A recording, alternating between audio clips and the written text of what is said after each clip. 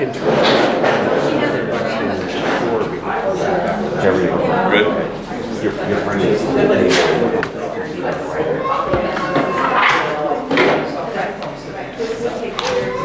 right, everybody, we're going to get started. I'm obviously not Henry, but Henry asked me to lead us in prayer today. So there's three exits in here if you want to leave. I'm not as funny as. All right, will everyone stand up for a second so we can pray? All right, and everybody grab the hand of everybody that's beside them, if you have one or two. All right. All right. Heavenly Father, I've asked everyone today to stand for us to be mindful to live where our feet are. A very dear friend reminded us of that and how important it is to be present. I've also asked everyone to join hands as a reminder that you're never alone in life.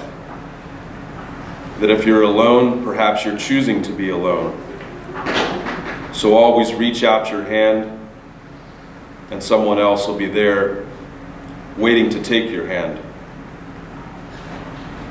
Lord, you have given each one of us here the gift of our lives. Please help each and every one of us to be mindful that how we live our lives is our living gift to you. Please help make today a wonderful day. And thank you for being such an awesome presence in our life. In Jesus' name we pray. Amen. Amen.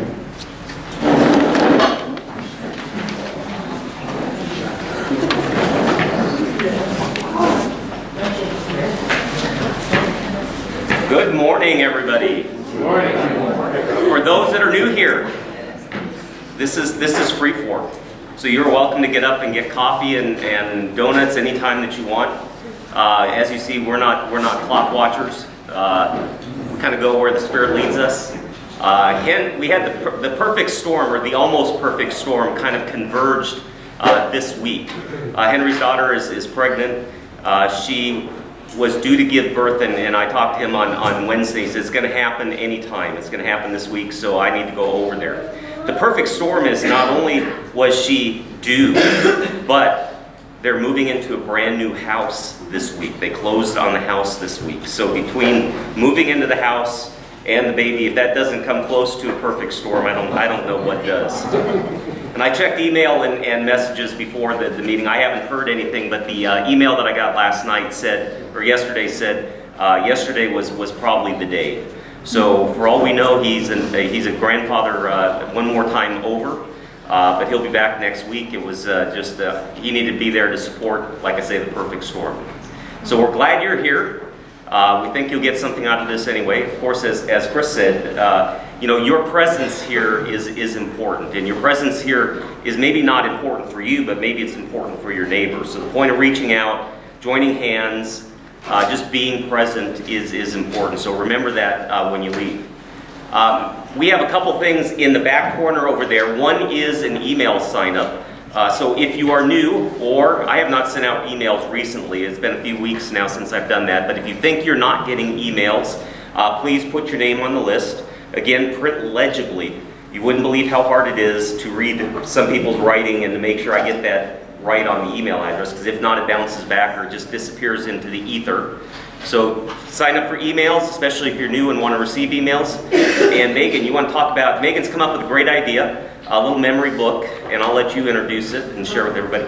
I don't really know where it's going, but um, I got this book and I just thought I'm kind of learning what community is about being a part of this and as it's growing and kind of walking in God's divine presence as Henry talks about. And I know that whether I was um, in my life, I, I tend to isolate, right? When things are, and I don't, I don't reach out and tap into like the greater power that is around me.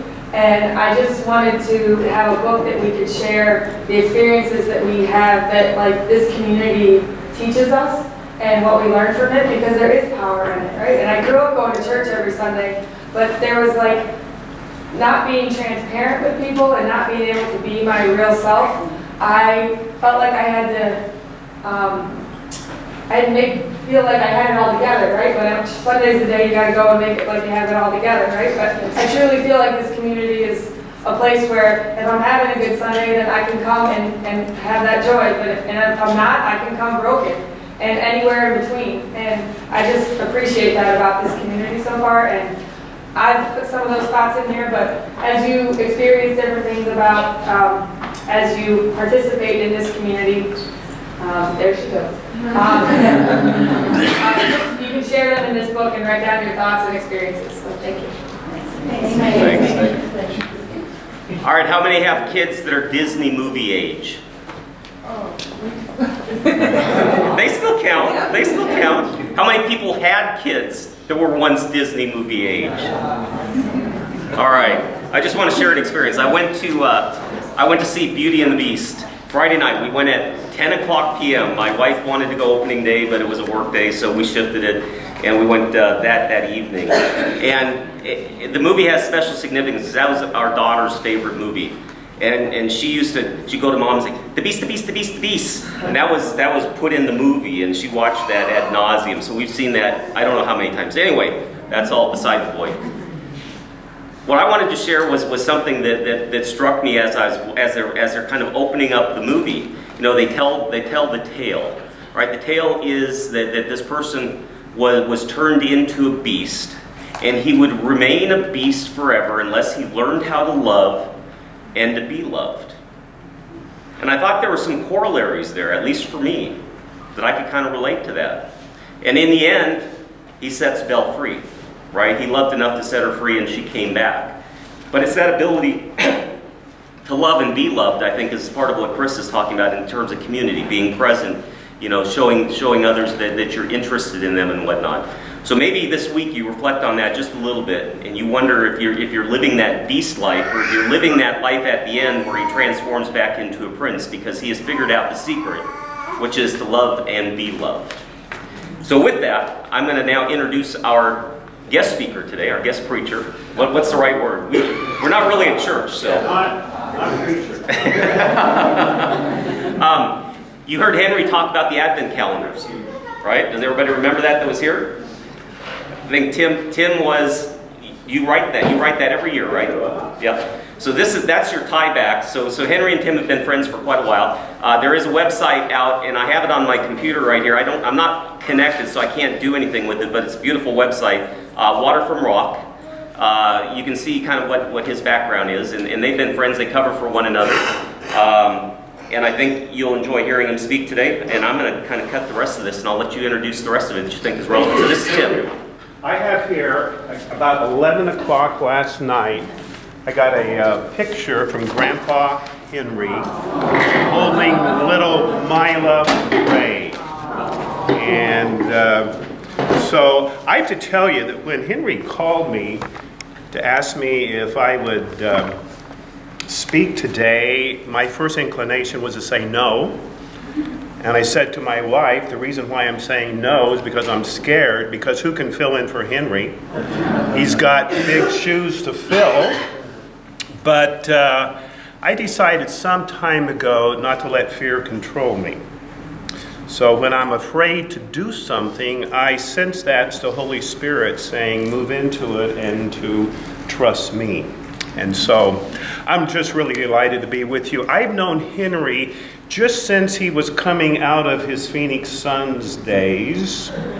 And I can tell you, I don't think Henry has been more happy doing what he is doing than what he's doing right now. And so I'm just really delighted to be with you. I love the name community of the Wild Goose.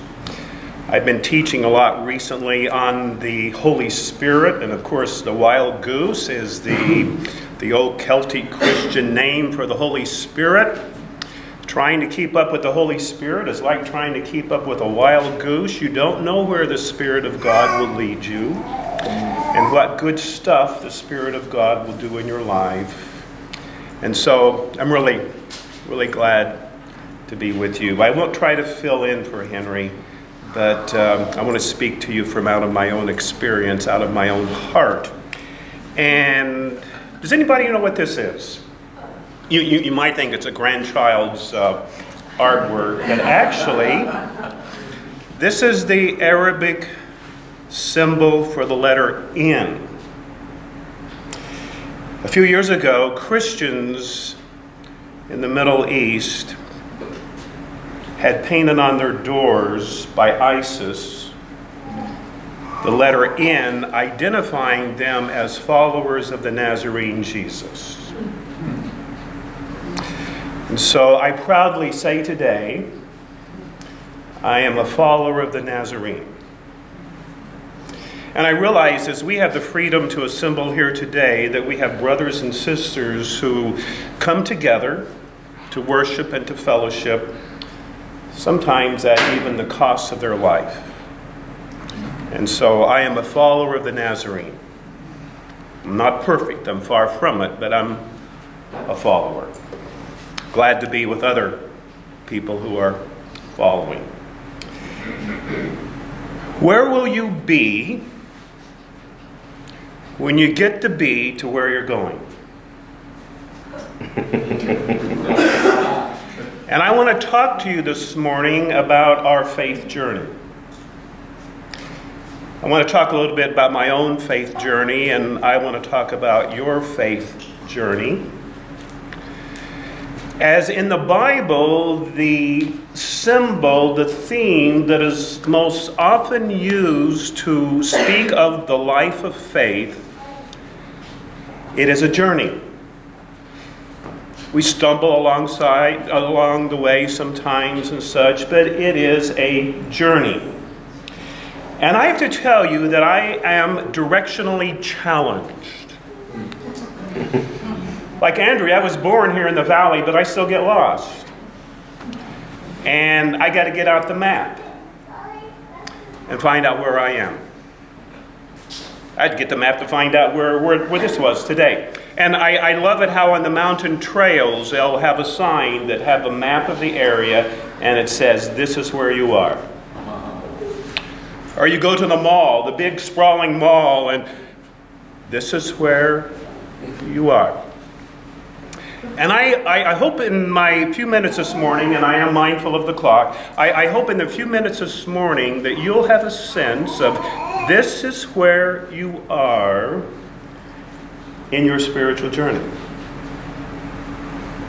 And where you will be when you get to be to where you're going. Now, for me, the most reliable map that there is for our spiritual journey is, of course, the Bible, which I take as God's Word. And I am intrigued by the fact that in the Bible, the map of the spiritual journey, the map of the spiritual life, is the Exodus. Now, nobody's as old as I am here, but I, I, remember Cecil B. DeMille's and Ten Commandments and the Exodus, the story of the Exodus. How God delivered his people out of bondage. he delivered them out of the bondage of Egypt through the wilderness. Headed where? To the promised land. And I'm going to dare to say this morning, on the authority of God's Word, that that is a map of your spiritual journey. It is a map of my spiritual journey with a lot of wanderings around. That God is doing something in your life. The Exodus is not just something that happened 4,000 years ago, but the Exodus is also something that's happening right now that God is delivering us out of bondage of Egypt through a wilderness to a promised land.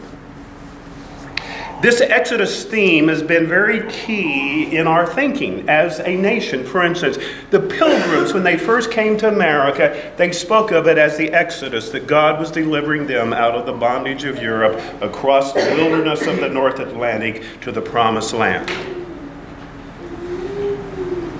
On the 4th of July, after uh, after the founders had signed the Declaration of Independence, they appointed John Adams, Thomas Jefferson, and uh, Ben Franklin. They appointed them to make the Great Seal of the United States. You know what they wanted for the Great Seal of the United States? They wanted a picture, they wanted a symbol of God leading his people out of the bondage of Egypt through the wilderness to the promised land. Actually, another seal was adopted, which is on the back of your dollar bill. This also was the inspiration of Martin Luther King back in the 1960s in the civil rights movement. That God would deliver his people out of bondage through the wilderness. Remember what Martin Luther King said? He says, I've been to the mountaintop. I've seen the promised land. So, just, just to illustrate that this idea of the spiritual journey as the Exodus, it's very important for our thinking. Now, I am a visual learner. Uh, my, my sixth grade teacher told me I was a visual learner. In other words, I think best in pictures. I've got to see it to grasp it to in order to remember it. And so I'm going to be a little visual today is I want you to picture this over here. This is Egypt, okay? It's bondage. It's slavery. It's oppression. It's hopelessness. There's no future.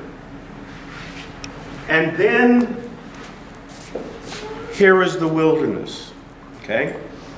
God is delivering us out of bondage. And there's all different kinds of bondage, isn't there? God is delivering us out of bondage through a wilderness over here to the promised land. Now, I have to tell you, one time I counted up how many verses in the Torah, in the books of Moses, have to do with time in the wilderness. And I counted up, and 82% of the verses about the people of Israel take place in the wilderness. And I thought, why is that? It doesn't take place in Egypt, it doesn't play, take place in the promised land, but it takes place in the wilderness. And that really spoke to me because I thought, you know what? We spend a lot of time in the wilderness, don't we? I do. I have. And I discovered it's because it's one thing to get the people of God out of Egypt, it's another thing to get Egypt out of the people of God. And it took some time to go round and round in the wilderness until the slave mentality of Egypt was out of them and they were ready to move with God into the promised land. Now, I, I first met Henry when I was in a wilderness of sorts, and Henry's a good guy to walk through the, wil- walk through the wilderness with. My wife of 38 years of age, had just died from cancer. Had two little boys, ages of Henry's two little girls. And I was in the wilderness. You know what the wilderness is like. Sometimes you don't know up from down, you don't know where you're going. And I learned that it is in the wilderness of life, I learned that it is in the wilderness of life that I really discover God's presence. Do you remember, for instance, in the story of the wilderness wandering of the people of God, they come to a place in the desert where there is no water. And they're upset with God. Do you remember what God does? What does He do? Water. He brings, and that's the name of our ministry, by the way, Water from Rock, because I learned that in the desert of life, in the wilderness of life, I learned that there is a God who knows how to bring water from rock. He knows how to provide. Hey, I'd been to school, I'd been to seminary, I'd read books, but it was in the wilderness that I discovered that that's really true. That God can provide and care for his people. Then you remember in, in that wilderness journey, they came to a place where they didn't have any food. And what does God do? Anyone know? He provides manna from heaven. He provides for them. And I learned that it is in the wilderness as I have been delivered out of bondage. You know, I know, why can't I go straight to the promised land? You know? Hey, I'm out of here. I'm, I'm out of bondage. Why can't I go straight to the promised land? It is because in the wilderness that I finally learned in my own life experience that my God knows how to provide water out of a rock. He knows how to provide bread for me. And God knows how to lead me, and He knows how to guide me. Now, just picture in your mind's eye for a moment that wilderness, that North Mountain Park that's out there. That actually looks like a green field compared to the Sinai where the people of God were. And God knew how to lead them, He knew how to guide them, He knew how to provide for them. So you might be in a wilderness of sorts today. I've spent a lot of time in the wilderness being freed out of bondage on my way to the promised land. Let me, let me tell you about two temptations that I experience when I'm in the wilderness, and two temptations that the people of God in the Bible experienced when they were in the wilderness for those 40 years. The first temptation, remember, is they wanted to go back to Egypt. Remember that? He said, Why did you bring us out into the desert to die, God? We would have been better to be in Egypt, to go back there. And isn't it something how we always remember things better than they were? You know? oh, Lord, this wilderness is hard. Having to trust you to provide. Not always knowing where I'm going. I want to go back to Egypt. That's been a huge temptation for me. To go back to my comfort zones, even though they were destructive. To go back to relationships that were harmful. To go back to situations that held me in bondage. That's the first temptation that I experience in the wilderness. As God is calling upon me to walk by faith and to trust Him. Tempted, I'm tempted to regress. I'm tempted to go backwards, back to the bondage of Egypt. And I've done that a few times. God, in His grace, leads me onward. He brings someone like a Henry. And Megan, I appreciate what you said. We can't do this alone. We can't make this journey alone. The other temptation that I face as I'm in the wilderness, besides wanting to regress, besides wanting to go backwards, because it's kind of hard sometimes trusting God in the wilderness, the, the other temptation that I face is the temptation not to trust God to move into the future, to move into the promised land. Do you remember why the people of God, do you remember why the Israelites were afraid to go into the promised land? What was there in the promised land? There were giants. There were great walled cities, and they said, We're just like grasshoppers before them.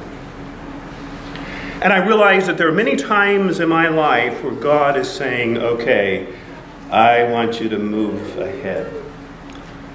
I want you to move into the future. I want you to trust me that I'm greater than those giants that are in the land. And I said, as I said here earlier, you know, I, I, I was af- I was afraid to try to fill in for Henry. But the Spirit of God, the wild goose, said, Hey, you don't let your life be controlled by fear. When you fear something, you step into it. And you step into God's promised land. So, in your journey of faith today, as I look at the Bible, the Exodus is not something that just once happened. But the Exodus is something that's happening in lives all around me this morning, as it's happening in my life. That God is continually moving us out of those things that bind us that bondage, that oppression, that hopelessness about the future that they had in Egypt. God is continually moving us out of that. Not, not, not always straight to the promised land, but we go through a wilderness in which we know that, yeah, there really is a God who knows how to bring water out of rock there is a God who knows how to provide bread for his people, and that there is a God who leads us and guides us. Now, I have to tell you, through many of the ups and downs and turns in my life and my failures and fallbacks, I have been sustained and guided by an old song that I learned when I was five years old. The song goes like this. The Lord knows the way through the wilderness. All I have to do is follow. Strength for today is mine all the way, and all that I need for tomorrow. The Lord knows the way through the wilderness. And I know I'm looking at lives this morning that are a lot like mine, that we've been redeemed, we've been delivered out of the house of bondage, out of oppression, out of hopelessness about the future. And we're in a wilderness where we're not always sure of things. But God knows the way through the wilderness. The wild goose will lead you in ways you can't imagine as you seek to follow Him. I want to take a, just a moment now before we uh, eat of the Lord's Supper. I'd like for us to just take a moment and, as the psalmist says, to be still and to know that He is God. Just take a moment now with you, would you, in your heart of hearts, to speak to God and ask Him to lead you and guide you for the road ahead.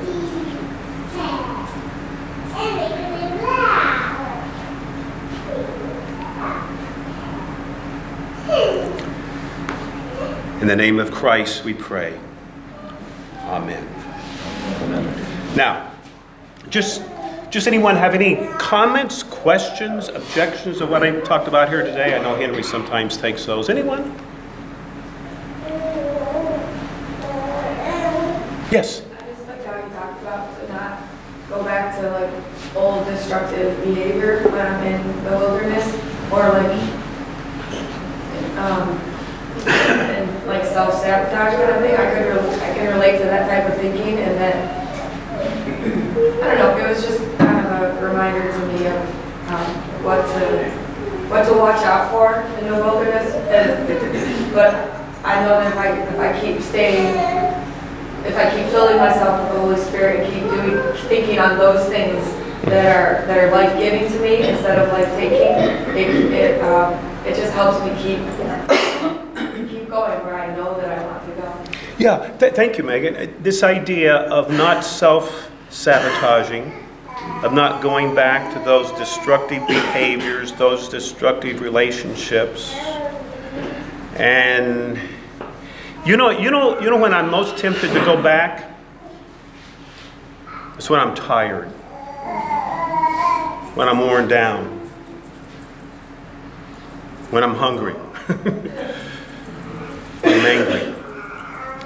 And I, I, can, I can be just like the Israelites in the wilderness and go, oh, you know, it was so wonderful back in Egypt, in bondage, in slavery. And the Spirit of God, the wild goose, says, hey, you know, trust me, move on, move on. Thank you, Megan. Any, anyone else have any comments? Yes? Yeah, Chad. Um, Yeah, Chad? And uh, thank you for that. I, I was thinking about, we um, went through uh, three miscarriages ourselves. Oh, And it was really brutal on us, um, you know, walking through the pain and everything. And um, my wife was actually sharing one time at a, a meeting over at Crossroads. Anyways, afterwards, um, he's going to speak too. Um, um, this uh, guy came up, I've never met him before, he says, she was talking about her pain about the miscarriages, and this guy came up to me, he says, just want you to know, I know I never met you before, but I had a, a voice tell me that, don't worry, you're gonna have a son, his name's gonna be Jacob. This- this is, this is, This is Jacob. wow, Yeah. how awesome. Uh, Hi, Jacob. So it's just, it's so cool when you're walking through and you just, okay, God, I just, I give it to you, I trust you. I know that you walk me through my alcoholism, my drug addiction, I give my life to you. I just, I keep on just learning how to just give it up, give it up, you got it. Give it a, And, um, you know, we have a happy little family, and I'm- I'm so blessed, you know? Um, I'm just grateful to be part of this, to have this community. Wild Goose, I mean, it's just cool that it's, you know, I'm Irish too, so. Um, Yeah, so I'm just very grateful to be part of this, and it's nice to see Raphael and everybody here. Chad, thank you. Appreciate that. And Jacob, nice to hear you this morning. And uh, God's, uh, God's blessing. You know, um, I, have a, I have a friend who is celebrating his 29th year in recovery. And uh, he was recently diagnosed with a, re- with a reoccurrence of cancer. And I said, Rick, what's this like for you? And he says, Hey, if I can trust God for my recovery, I can trust Him for this. I thought, what a wonderful, wonderful statement there. And I've, I've learned through my AA friends what it is to move my faith from my head to my heart. Okay? It was in the wilderness of life that I moved my faith in God from, yeah, I believe in God. I moved it here, yeah, I trust in God. You know, there is a difference, isn't there? There's a difference between saying, between saying I believe in God, the Creator, Almighty, Maker of it, and saying, you know, Jesus, I'm going to trust you for today. Isn't that a wonderful place to come in our life? Lord, I'm in the wilderness. I don't, I don't know how I'm going to deal with this. I'm I don't know how I'm going to deal with my wife's cancer. I'm, I don't know how I'm going to deal with the reoccurrence. I don't know how I'm going to deal with being a single dad. But Lord, I trust you. I trust you. And if you were in a wilderness of sorts today, you can say, you know, you, you can trust Jesus to take you through. Thanks, Chad. Anyone else?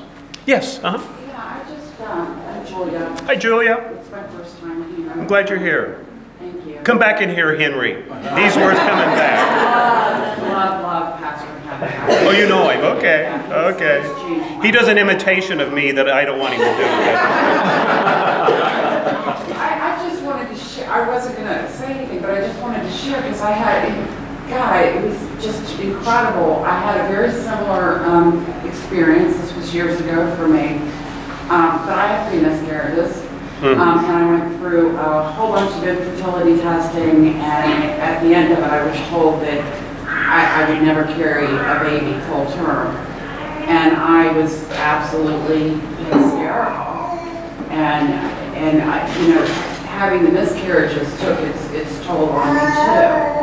Um, but my husband and I left, and he wanted to stop and get a coffee, and I couldn't stop crying, so I stayed in the car. And at that moment, something came over me, and I knew that I was going to have um, a baby. And in between those miscarriages, we had long periods where we were trying, and you know, and I wasn't getting pregnant. So not only did I know that I was going to have a baby, I knew I was going to get pregnant, you know, very soon. And I was pregnant two months after that, and gosh, oh, that child is 22 years old today. Um, Wow. So, uh, that's just incredible that I had, you know, such a similar experience. But I also wanted to comment on Megan.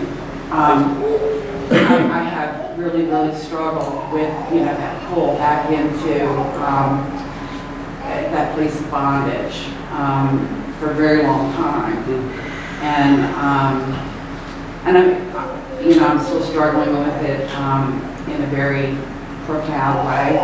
But I will say that um, meeting Pastor Henry um, in Calvary, um, it completely changed my life and completely changed my, um, my way of thinking about um, God. And, and I, I now can feel God's presence.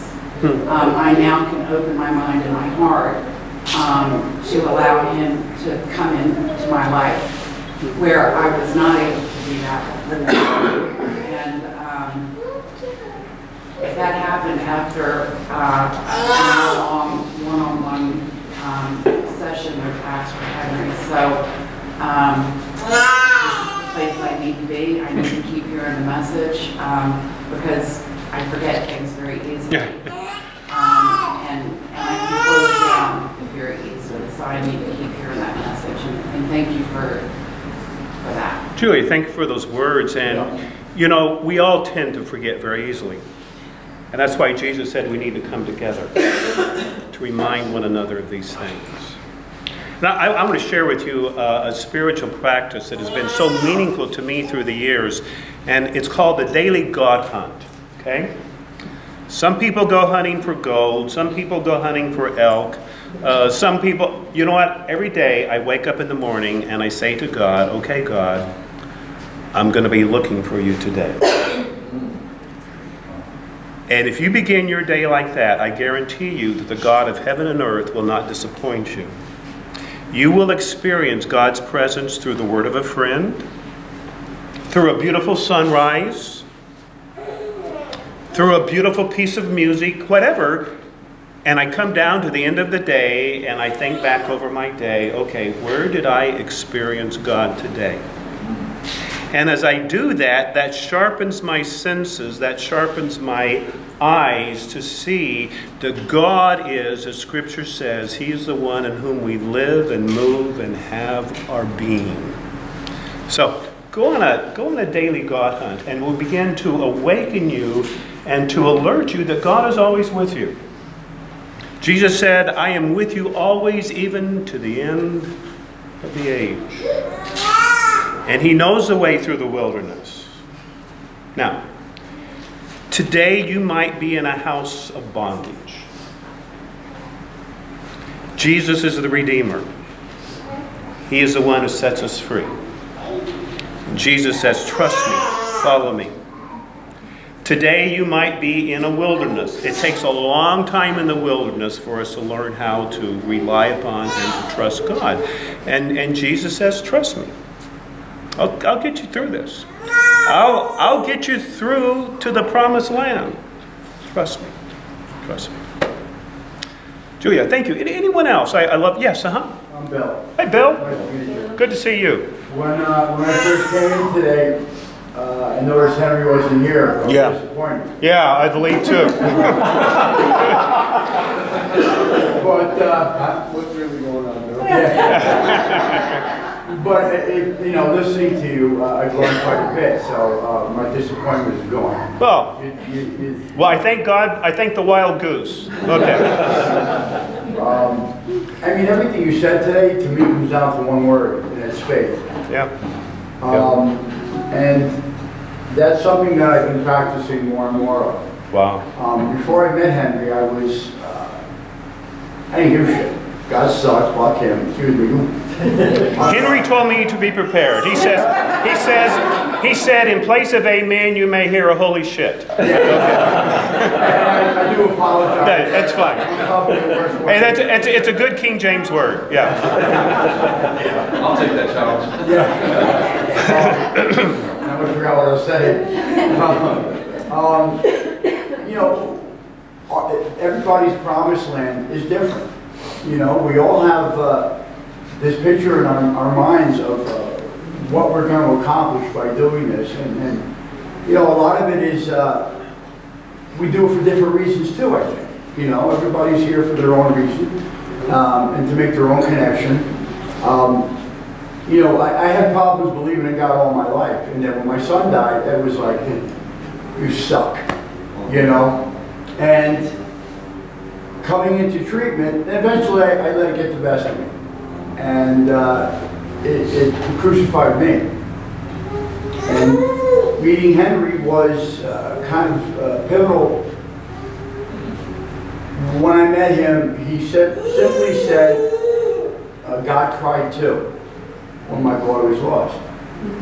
And that was it. I mean, you know, I realized before I even met Henry that, that death is a human thing, it's not a God thing.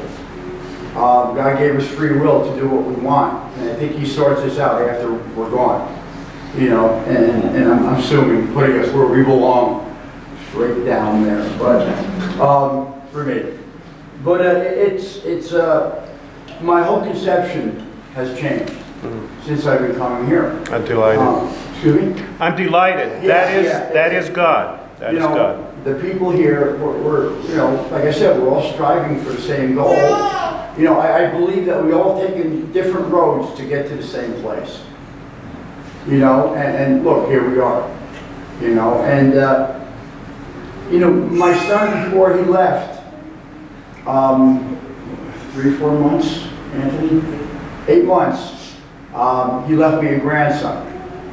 And now he's, well, he, he came into uh, the airport last week at 16, Wow. and he left today, just now, at 17. And we got to celebrate his birthday with him. We haven't seen him in some years. Um, and every time I saw this boy, I saw my son. Hmm. I looked at him from behind or whatever, and I just saw my son. Um, and I didn't want to say that too much to him because I didn't want to make him think that I wasn't appreciating him. But I have the best of everything right now. I mean, just being with that kid, um, it just made my heart smile. And, and it just, I mean, I cried like a little girl last night in the back seat of the car, and I tried not to let him see, and I was okay today, but um, it's those gifts that, that we don't realize are gifts. Because when my son died and my grandson was born right before that, eight months ago, like I just said, I didn't want my grandson, I wanted my son. And now I eat those words, you know, it's just like the pain. Pain was so great that I just wanted my baby back. You know, and now that I, I mean, you know, that didn't last very long because he's my baby. I love my grandson. But it was just like, you know, the pain dictates our direction sometimes. And, and, and, you know, I have, we just decided, I have definitely, what is it? PSA, PSD, what do you call it? Yes. Post-traumatic, um, because I, I, I can't handle goodbyes very well. I don't say goodbye to anybody, I say, see you. I'm afraid to say goodbye, it's too damn final for me. But, you know, when they come and visit, I don't want to let them go. I want to protect them. I want to do all the things that I felt I didn't do with my son. You know, and, and I don't know, I, life is good. It really is. It's good. It- It's, I may be crappy sometimes. but Yeah, it's, it's good. You know, just having that, that boy here. Um, You know, I'm going to quote you to my wife when I see her. I'm going to say, Bill said, life is crappy sometimes, but life is good. That's, uh, that's, that- that's beautiful. That's, that's beautiful. That's, that's beautiful. You see, and that's, that's the Spirit of God bubbling up within us. The Bible tells us that the fruit that the Spirit of God produces in us is what? Love, joy, peace, patience, goodness. I have experienced joy in my life, and life is perfectly crappy. I have experienced peace in my life when everything was going wrong. Where does that come from? Not from me, it comes from God's Spirit. Now, 700 years after the Exodus, 700 years after God delivered his people out of the bondage of Egypt through the wilderness into the promised land, there was a prophet of God named Isaiah who said, Remember not the former things, neither consider the things of old. He's saying, okay, I want you to forget the Exodus now because the Lord is going to do a new thing. You hear that? Okay, we talked about the Exodus that once happened in history. Now God's getting ready to do something new in your life. And as I look around the room today and as I look at my own life, I can say God's getting ready to do something new. But you, you won't even think about the old Exodus because God is always at work, delivering, redeeming his people. I have, uh, I have at home, I have in my desk drawer, I have a big I don't understand file.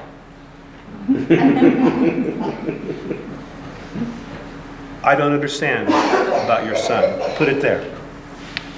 I don't understand about my wife dying. I put it there. And I leave it to God, who works above my pay grade, okay? And the Bible does tell me that one day God will redeem and He will more than make up whatever we have lost, whatever we have suffered. And we live in light of that. Now, Jesus, on the night before He gave His life, at the Passover meal, as they celebrated that redemption, that being delivered out of the house of bondage in Egypt, being delivered out on their way to the promised land. At that Passover meal, Jesus took the bread of the Passover meal, and Scripture says that he broke the bread, and he said of that bread, he says, This is my body. Take it and eat. Notice Jesus didn't say, take it and study it. he didn't say, take it and analyze it. He said, take it, take it into yourself, and eat it. And what we're going to do here in a moment is a, is a mystery that is far greater than I can comprehend.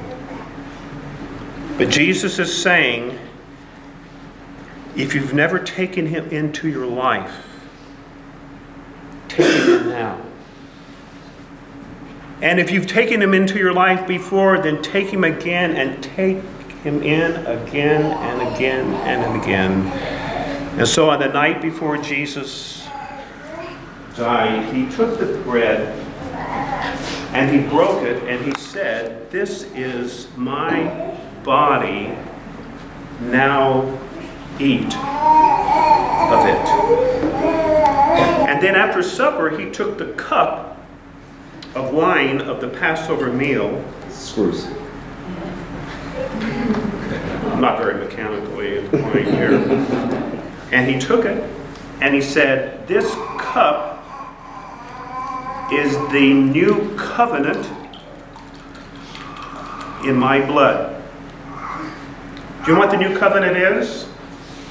The new covenant is God's promise that I will remember your sins no more. Isn't that incredible? God says, funny, I, I can't remember. Tim, I can't remember those things you did. I can't remember those things you thought, those things you said. So Jesus says, Take this bread and, and eat it. This is my body. This is me. Take me into your life. And this cup is the new covenant, my promise, my promise that I will remember your sins no more. On behalf of our Lord Jesus Christ, I want to invite you to come and take this bread and take off a piece there and dip it into the wine, and as you do that, by faith, receive Jesus. Trust Him. Stop just believing in Him, but trust Him. Trust Him. I also want you to feel the freedom not to come forward. That's perfectly fine. But Jesus says, Come to me, all you who labor and are heavy burdened, and I will give you rest. Loving Father, we thank you for loving us so much that you gave your Son to take all of our sins into himself. You gave your Son for us that we might have his place with you forever. We give you our thanks in the name of Christ. Amen. Amen. We're kind of informal here if you hadn't gathered. So please come, eat, and drink, and trust in Jesus.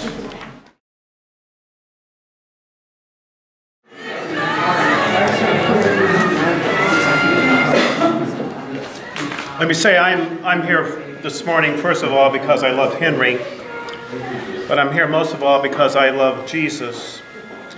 And let me say that you can be a Henry to someone else, okay? You can. Whether I'm a follower of Jesus facing persecution and death, or I'm a follower of Jesus here, what we're doing here today, it's one beggar telling another beggar where he found bread. You don't have to be perfect. You don't have to have it together. But you can say, I have found bread in the person of Jesus Christ. Now, I know some of you come out of a church background and, and maybe you've heard this blessing and didn't know where it came from. It comes from the nation of Israel as they're in the midst of the wilderness and they're screwing up. They're making golden calves. And God said, I want you to put my name on my people with these words. The Lord bless you and keep you. The Lord make his face shine upon you and be gracious to you. The Lord lift up the light of his countenance upon you and give you peace. Amen. God bless.